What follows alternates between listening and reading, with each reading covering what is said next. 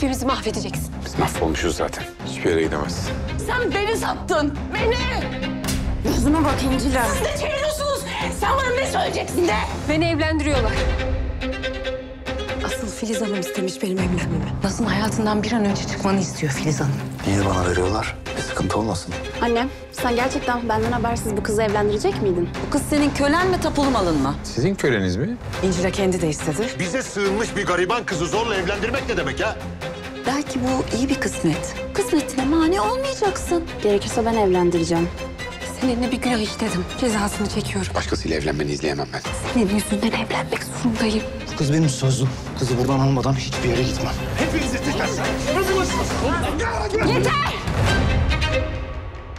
Atıf Bey, eğer müsaadeniz olursa ben Kadir'le evlenmek istiyorum.